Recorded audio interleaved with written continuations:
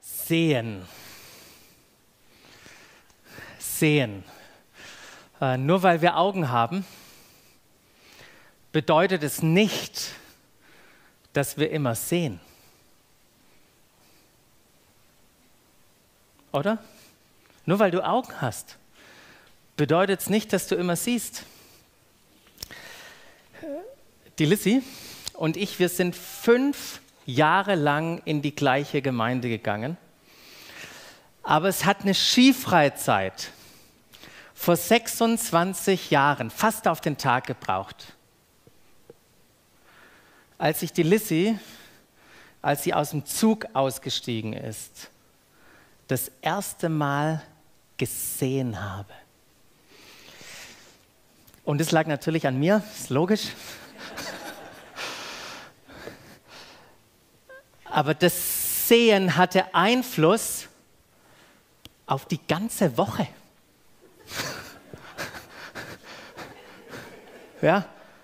Okay, nicht nur auf die ganze Woche, auf mein ganzes Leben hat es Einfluss. Es ist eine Liebesgeschichte geworden.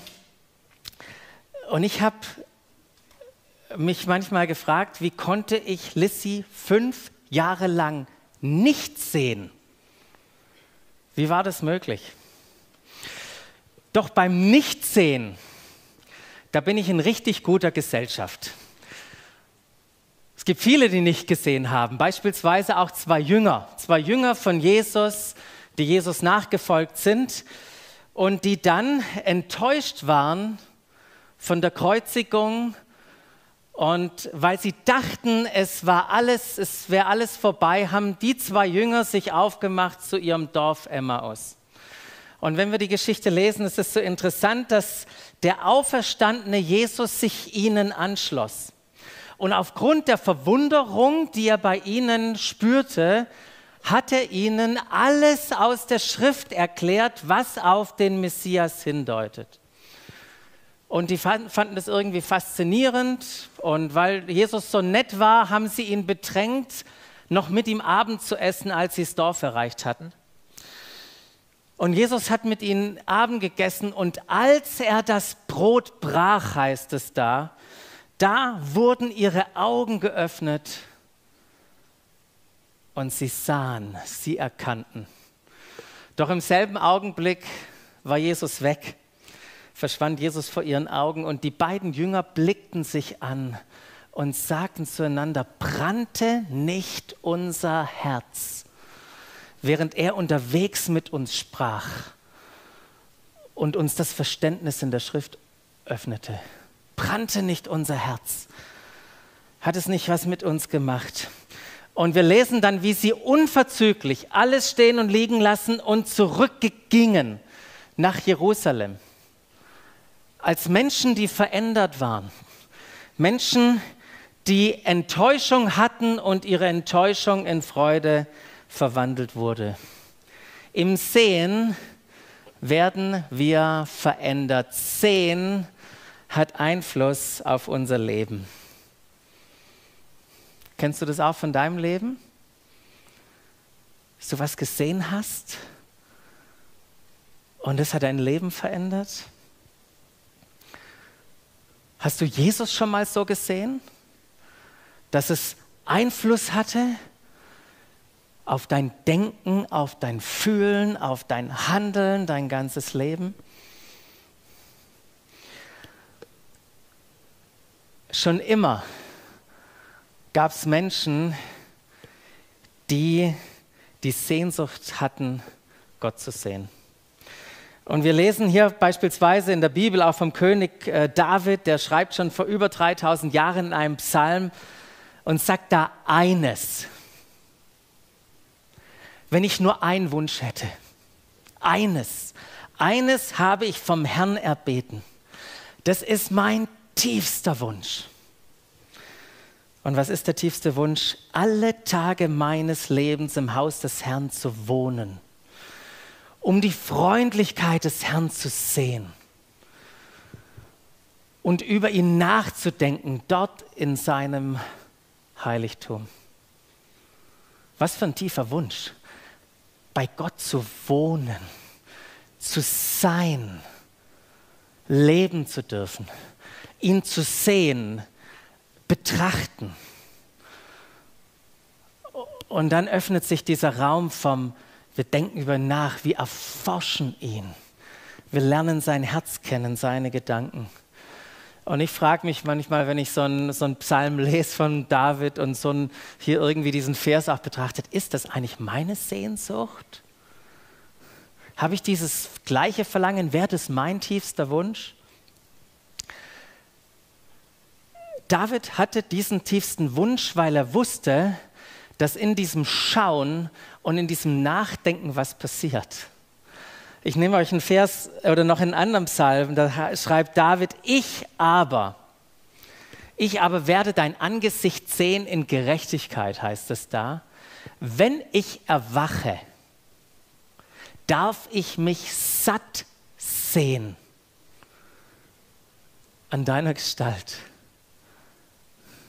Was für ein Ausdruck, sich satt zu sehen, gesättigt werden.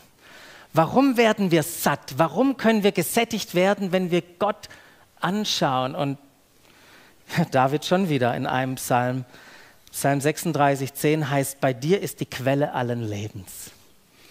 In deinem Licht sehen wir das Licht.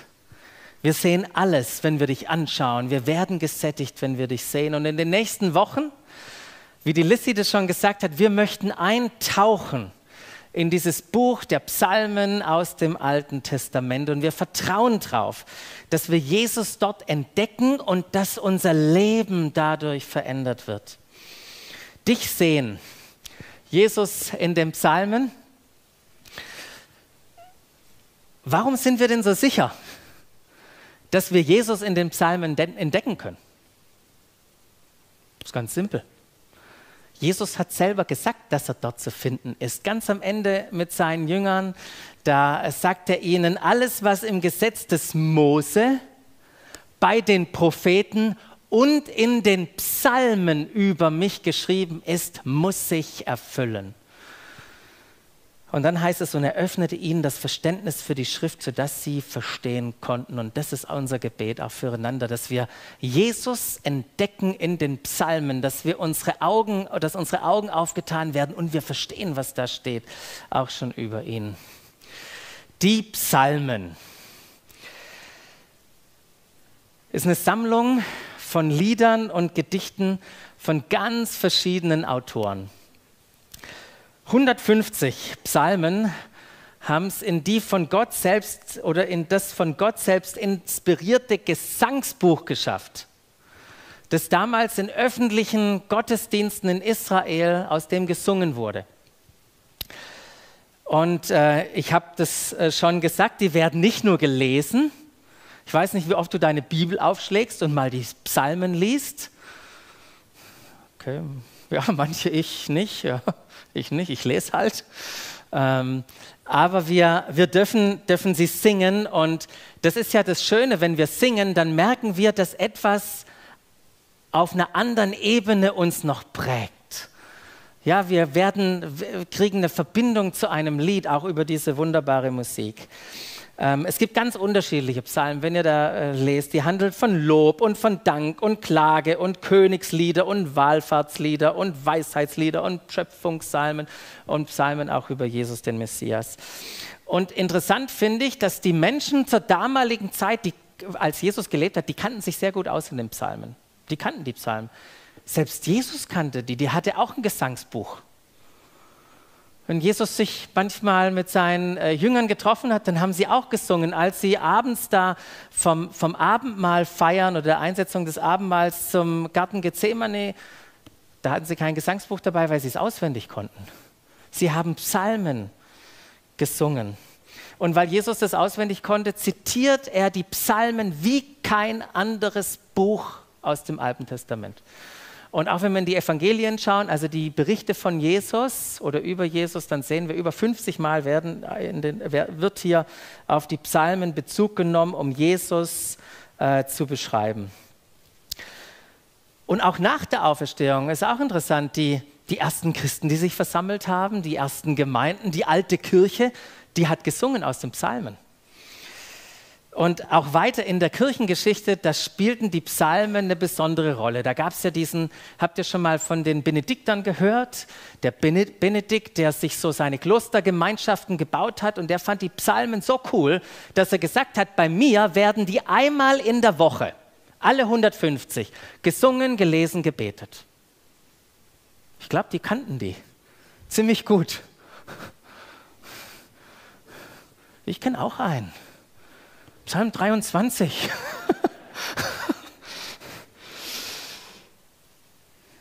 Und sicherlich braucht jede Generation ihre eigenen Lieder, in der wir ausdrücken dürfen auch, was unsere Reise mit Gott, aber dieses schöne Liederbuch der ersten Gemeinde, das sollten wir nicht ganz vergessen.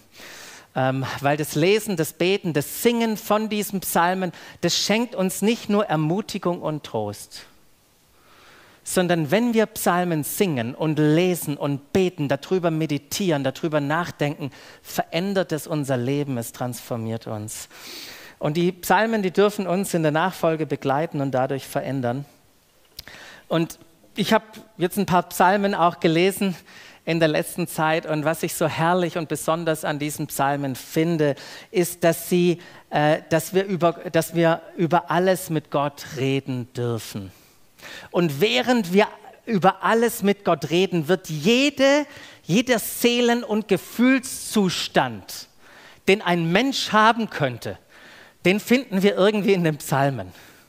Himmelhoch jauchzend, zu Tode betrübt.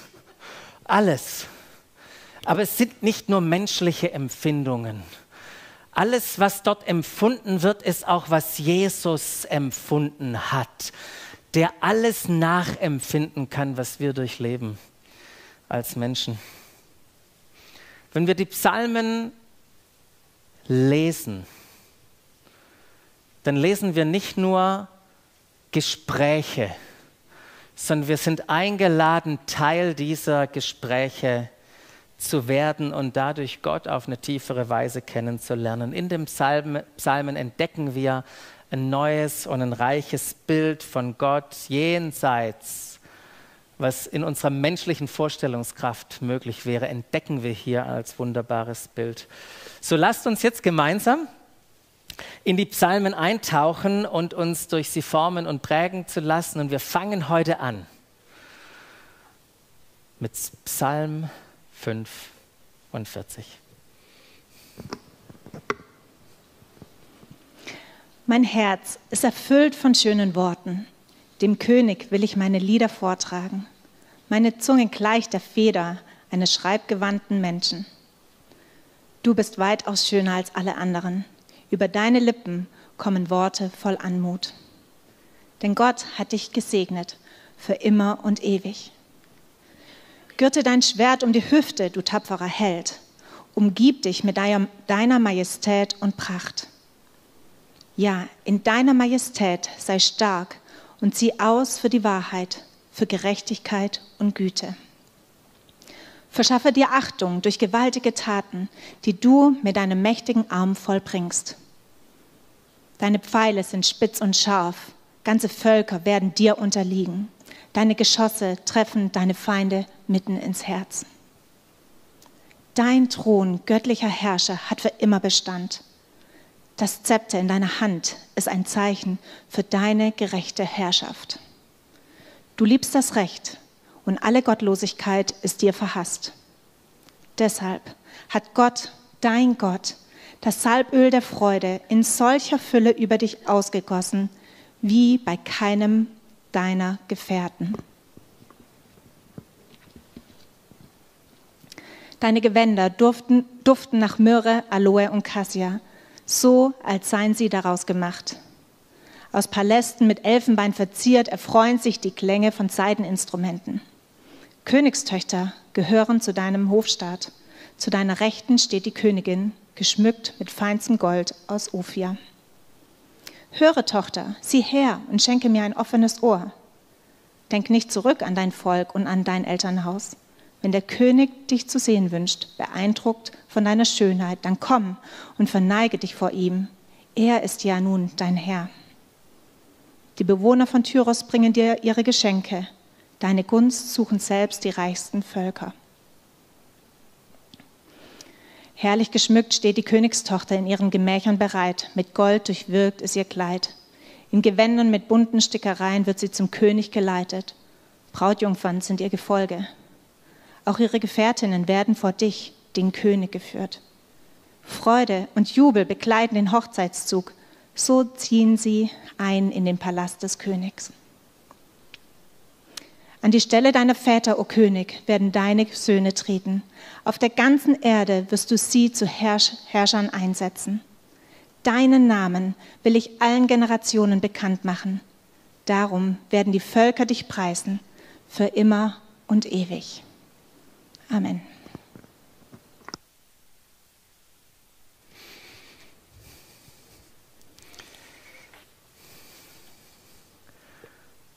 Gibt es irgendwas, was dich angesprochen hat?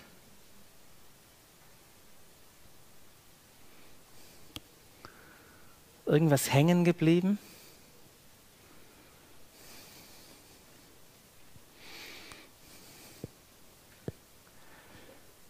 Muss zugeben, ist ein spezieller Psalm. genau, vorher wurde ich noch gefragt, wie es mir denn ging. Ich, ihn mir, ich muss zugeben, ich habe ihn nicht ganz freiwillig rausgesucht, er wurde mir zugewiesen. Aber ich habe ihn, habe ihn schätzen gelernt, äh, diesen Psalm. Ein spezieller Psalm, von dem es ganz am, am Anfang heißt, da gibt es ja ganz so viele Anweisungen in diesem Psalm. Und da heißt es ganz am Anfang, ein Liebeslied. Das ist ein Liebeslied. Und in der Form, wie wir Psalm 45 finden, ist es tatsächlich einzigartig bei den Psalmen. Die Parallele wäre das hohe Lied der Liebe, das ist ja auch ein Buch im Alten Testament, so als Vergleich. Und es ist ein, ein Liebeslied und ich hoffe, ihr habt es so vielleicht rausgehört zu einer Hochzeit. Äh, von einer Hochzeit eines israelischen Königs mit einer fremden Frau. Und als erstes da wird der Bräutigam und dann nachher die Tochter oder die Braut angesprochen. Und was hier so sichtbar wird, wird, ist die Liebe des Königs zur Braut und aber auch die Liebe der Braut zum König. Und vermutlich wurde dieses Lied tatsächlich auch an Hochzeiten damals gesungen. Also für alle, die planen zu heiraten, Vielleicht kann das eure Liedauswahl bestimmen. Ähm, aber manchmal, da liest man sowas und dann denkt man doch, wie um alles in der Welt hat dieser Psalm in die 150 Chartliste hineingeschafft? Oder? Ich weiß nicht, ob ich ihn ausgewählt hätte, aber er wurde auserwählt und er hat es ja hineingeschafft, ganz einfach, weil die Juden und die Christen, beide, wenn wir diesen Psalm anschauen, dann sehen wir in diesem Psalm eine Beschreibung des Messias. Es ist nicht nur einfach ein Liebeslied, es ist ein prophetisches Lied und wir Christen wissen, dass Jesus Christus gemeint ist. Wie beginnt dieses Liebeslied? Ich nehme euch ein paar Verse hinein. Da heißt es, mein Herz ist erfüllt von schönen Worten. Dem König will ich meine Lieder vortragen. Meine Zunge gleich der Feder eines schreibgewandten Menschen. Trieft's irgendwo? Ich hoffe. Mein Herz ist erfüllt von schönen Worten. In der Elberfelder Übersetzung, da heißt es, es wallt mein Herz von, von gutem Wort. Äh, dieses Wallen, das kommt übrigens nur einmal im, in, im, in der ganzen, im ganzen Alten Testament vor. Aber ich, ich fand es so ein spannendes Wort. Wenn etwas wallt, in uns wallt, dann hat es Einfluss auf unseren Körper und wir können die Gefühle gar nicht zurückhalten. Der Mund läuft von dem über, was im Herzen ist. Wie kochendes Wasser, wie kochendes Wasser sprudelt und über diesen Topf schwappt. Das ist das Bild. Und warum ist der Schreiber denn gefüllt mit Worten, die aus ihm heraussprudeln wollen. Und was wir wissen ist, dass seine, sein, äh, oder seine Worte sind eine, lediglich eine leidenschaftliche Antwort. Seine Worte sind eine leidenschaftliche Antwort auf das, was er gesehen hat, als er den König angeschaut hat und all das, was der König tut. Das ist eine leidenschaftliche Antwort. Und wer ist der König? Wir haben schon festgestellt, das ist Jesus, der Messias. Und wenn wir Jesus sehen und erkennen, so wie dieser Psalmschreiber, dann macht das etwas mit uns. Es macht etwas mit uns. Unser Glaube und unsere Beziehung mit Jesus, das ist ja nicht nur etwas rein kognitives da oben. So funktioniert Beziehung nicht. Es ist nicht nur kognitiv. Unser ganzes Menschsein ist beteiligt, wenn es um unseren Glauben geht und unsere Beziehung zu Jesus. Und selbstverständlich haben wir alle, die wir da sitzen, unterschiedliche Persönlichkeiten. Ähm, deshalb ist die Frage nicht, wie du deine Gefühle und dein Innerstes ausdrückst. Das ist nicht die Frage. Die Frage ist, ob dein Herz mit guten Worten randvoll gefüllt ist und dies Auswirkungen in deinem Leben hat. Das ist die Frage. Nicht, wie hoch du springen kannst. Das ist nicht die Frage. Aber ist dein Herz gefüllt? Dein Innerstes gefüllt oder ist, ist Glaube für dich nur eine Kopfsache? Was passiert in dir, wenn du Jesus siehst? Und ich habe mir überlegt, kann ich mich mit dem Schreiber hier identifizieren? Geht es mir auch so? Vielleicht hast du, denkst du, Jesus sehen? Wie soll denn das gehen? Habe ich noch nie gemacht. Hab ich, Jesus habe ich noch nie gesehen. Da will ich dir sagen, hey, kein Problem. Kein Problem. Lass dich einfach anstecken von dem Psalmschreiber oder von einem von uns heute Morgen. Weil das ist auch, was wir tun dürfen. Wir dürfen uns gegenseitig anstecken. Jesus zu sehen verändert. Jesus zu sehen verändert. Nicht unbedingt die Situation, in der wir drin sind. Die mag vielleicht genau gleich bleiben, aber unser Innerstes, unsere Gefühlswelt, unsere Perspektive, unsere Hoffnung verändert sich. Was begeistert diesen Schreiber dieses Psalms, äh, Vers 3? Er sagt, wenn, wenn er Jesus anschaut, du bist weitaus schöner als alle anderen. Über deine Lippen kommen Worte voll Anmut. Denn Gott hat dich gesegnet für immer und ewig. Wow, weitaus schöner als alle anderen. Kleiner theologischer Exkurs. Es scheint, dass der König ebenso Mensch ist.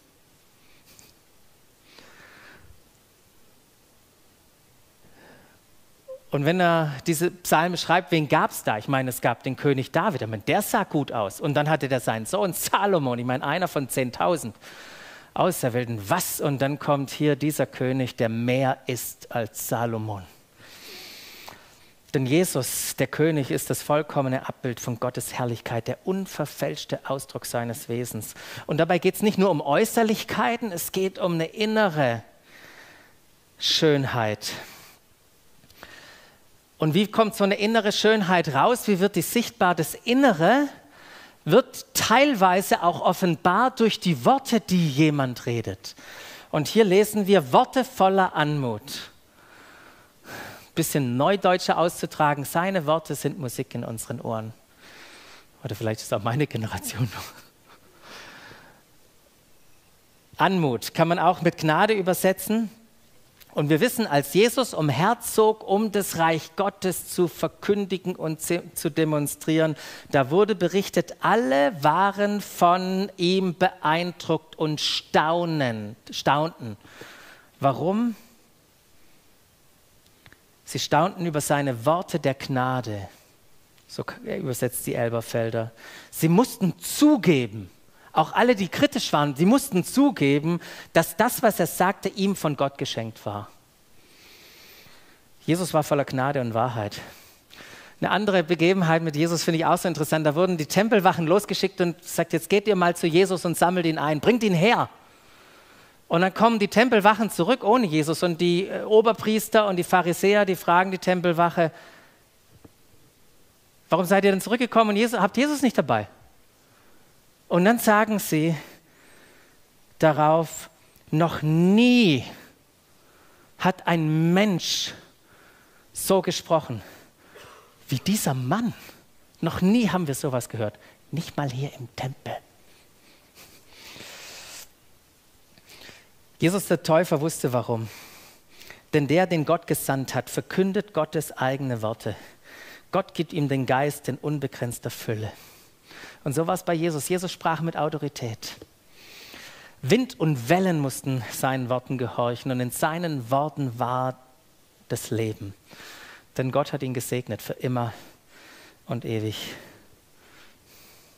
Wenn du an Jesus denkst und die vielen Worte, die er gesprochen hat, dir vielleicht durch sein Wort auch direkt zu dir gesprochen hat, welche bewegen dich? Was sind Worte der Gnade für dich, die so eine Schönheit für dich ausdrücken von ihm?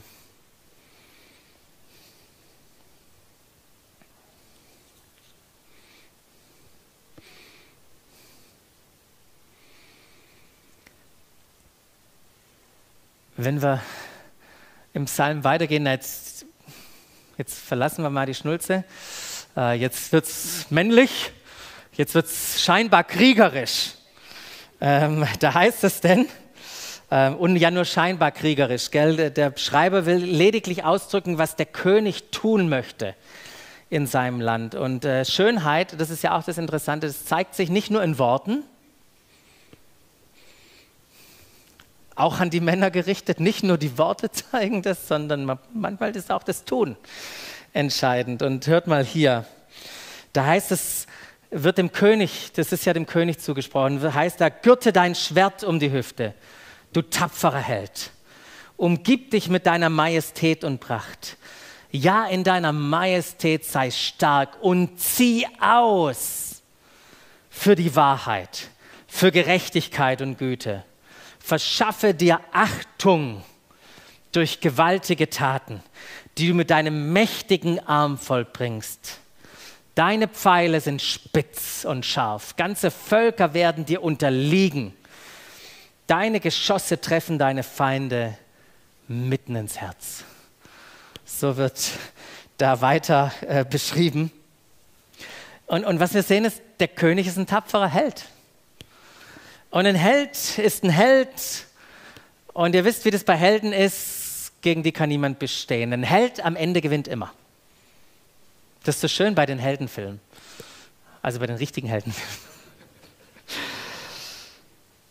Und ich finde es auch interessant, weil die Liste das auch gerade äh, vorgelesen hat, noch in der Offenbarung, wenn wir an das Schwert denken. Und manchmal da zeigt uns das Neue Testament, auch wenn sie Jesus beschreibt, dass sein Schwert auch seine Zunge oder in seinem Mund ist und dass es um, ein, um, um, um sein, seine Worte gehen. Worte wie scharf, wie ein zweischneidiges Schwert, noch schärfer.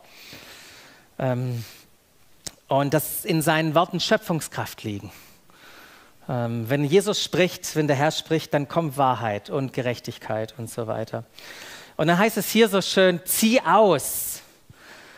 Das ist ja ein Wunsch des Schreibers zum König. Hey König, zieh aus. Aber nicht nur einfach so, sondern da geht es für Gerechtigkeit, für Wahrheit, für Güte. Und es ist nicht nur ein Wunsch, sondern auch ein prophetisches Bild, was passieren wird in der Zukunft. Da heißt es dann Achtung ähm, soll er sich verschaffen. Und Achtung hat sich der König tatsächlich verschafft. Durch die größte Tat, die jemals getan werden konnte. Der tapfere Held hat es nämlich nicht an seinem eigenen Vorteil festgehalten, der hat nicht ähm, oder er hat auf seine eigenen Vorrechte verzichtet und aus Liebe war er bereit für uns zu sterben sodass wir Leben und Gerechtigkeit und Wahrheit und Güte erfahren. Und die Feinde, auch kann man viel rein, äh, reinlesen oder interpretieren, die Feinde, auch klar, das ist nicht irgendwie Fleisch und Blut. Ähm, und das Schöne ist, wie es hier auch steht, Jesus hat sie für ein, für alle Mal entmachtet. Und deshalb kann der Psalmschreiber dann weiter auch sagen, äh, oder vorausschauend schreiben, dein Thron, göttlicher Herrscher, dein Thron, göttlicher Herrscher, hat für immer Bestand. Das Zepter in deiner Hand ist Zeichen für deine gerechte Herrschaft.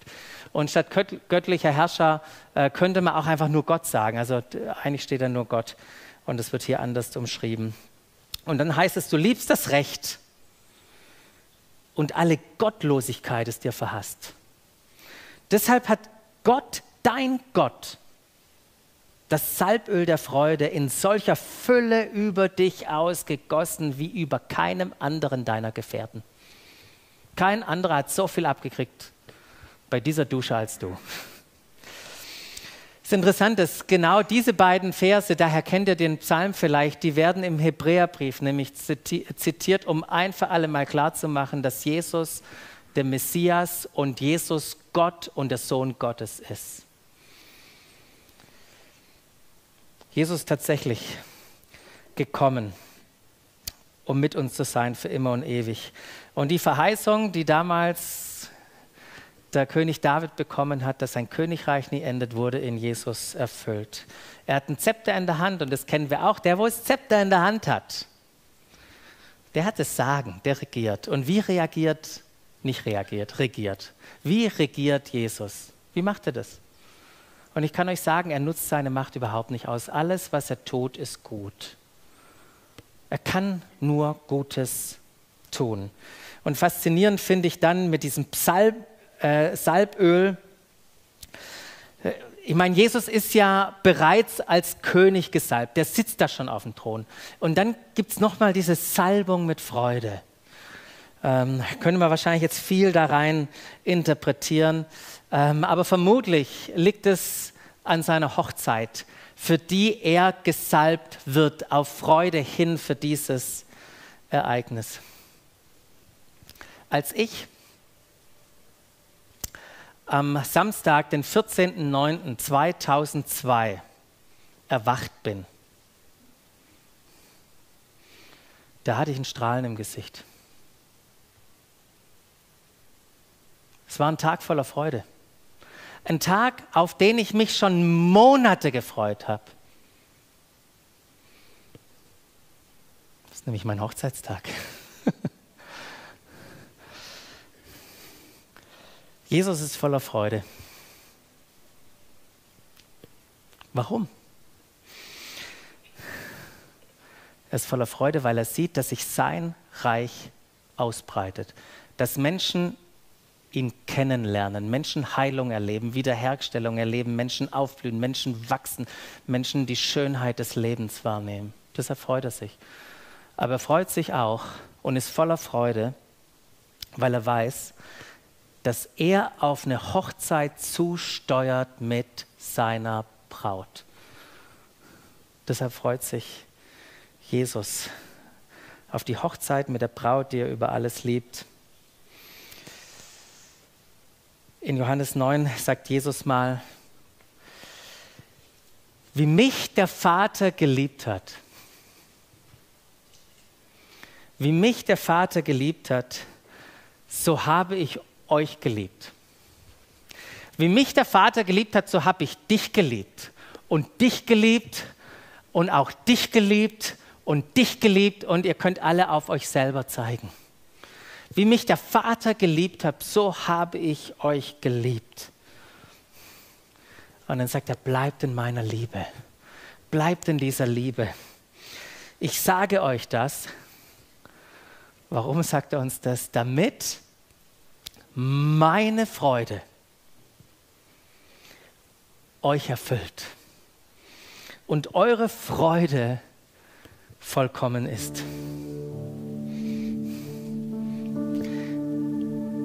An dem 14.09.2002 habe nicht nur ich mich gefreut. Ja? Lissy hat sich auch gefreut. Und wir dürfen in dieser Freude leben. Und wenn wir diesen Psalm, lest den für euch weiter durch, dann wird weiter beschrieben, wie dieser König und diese Braut, wie diese Hochzeit vorbereitet wird, wie, wie sie ausziehen zur Hochzeit, was dadurch alles passiert.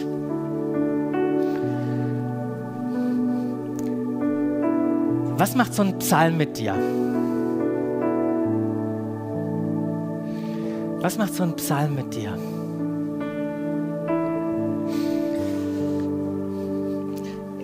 Ist der Psalm nur so ein nettes Liebeslied von irgendjemanden, den du nicht kennst, über irgendjemanden, irgendwie so ein Lied, das du im Radio hörst, was sich so nett anhört.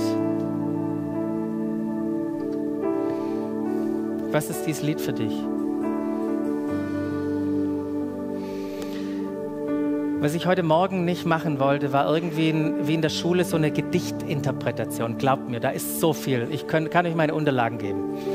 Habt ihr eine Gedichtinterpretation. Aber meine Idee war nicht eine Gedichtinterpretation heute zu machen, sondern mein Herzenswunsch ist, und ich glaube, das ist genau das Herzens, der Herzenswunsch auch von den Korachitern, die diesen Psalm geschrieben haben, die sagen, hey, wir laden dich ein in diesen Psalm, in dieses Liebeslied. Liebeslied ist nicht nur unser Liebeslied, es ist auch dein Liebeslied. Lass dieses Lied zu deinem werden. Seh, wie wir den König werd überwältigt von seiner Schönheit und antworte ihm mit deinen eigenen Worten. Und wenn du keine hast, dann gebrauch die Worte, die wir dir in den Mund legen mit diesem Psalm.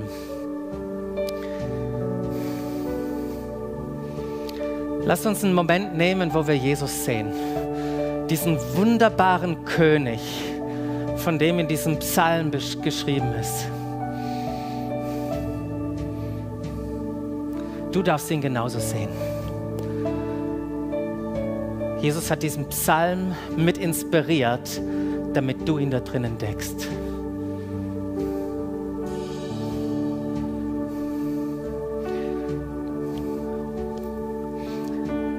Und Jesus, ich bete, dass du uns die Augen öffnest. Dass wir sehen, wer du bist. Danke für deine Schönheit. Danke für deine Worte, voller Gnade, voller Wahrheit, voller Güte, Barmherzigkeit. Du bist gesegnet für immer und immer. Und ich danke dir, dass wir durch dich gesegnet werden.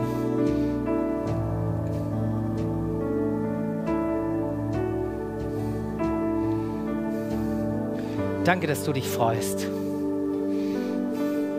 Du freust dich über uns, über mich. Und du liebst mich. Und du sehnst dich danach. Du sehnst dich danach, wiederzukommen, Jesus. Sichtbar mit uns zu wohnen.